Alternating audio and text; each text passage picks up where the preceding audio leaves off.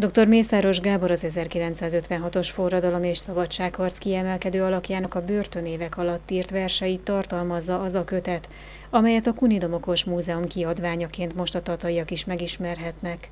2015. decemberében készülve az 56-os forradalom és szabadságharc évfordulójára a múzeum tudomására jutott, hogy ezek a versek megszerezhetőek Tataváros önkormányzatának anyagi támogatásával, ezeket a verseket akkor megvásároltuk, de idő és kapacitás folytán már nem tudtuk a, az emlékévben ezt a könyvet kiadni.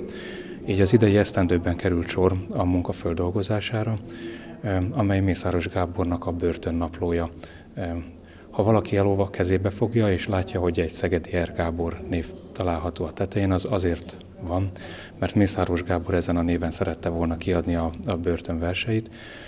A Szegedi ugye arra utal, hogy Szegeden volt legvégén börtönbe, és nagyon sok időt töltött Szegeden még a tatai léte előtt másrésztről pedig az R pont az a rabot jelentette, tehát ezzel is utalni akart, hogy milyen körülmények között született ez a munka. A könyvbemutatón dr. Mészáros Gábor lánya és unokája is jelen voltak. Sokszor gondoltunk arra, hogy valamit ezekkel a régi dolgokkal, iratokkal, egyebekkel csinálni kell, hogy megosztuk másokkal is, ne csak mi örüljünk neki, és valahogy soha nem sikerült. Többször volt próbálkozás, de nem sikerült, és most nagyon örülök neki.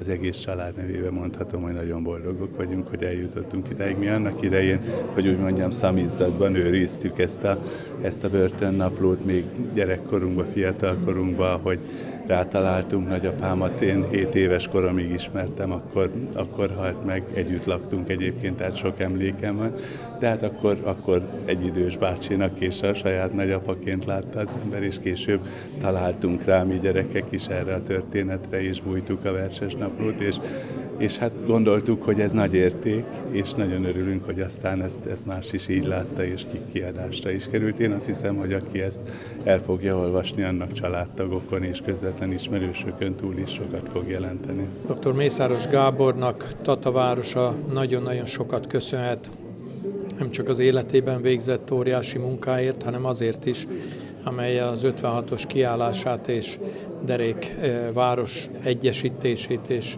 fantasztikus szeretetét eh, jelentette akkor ott október eh, hónapja végén, és aztán azt követő időszakban, és az a talpig becsületes magyar emberre valló kiállás, amivel a börtön éveit is túlélte, úgy, hogy közben pedig ezeket a gyönyörű verseket megfogalmazta és megírta. A közel 200 oldalas versgyűjteményt az 56-os Emlékbizottság támogatásával sikerült megjelentetni.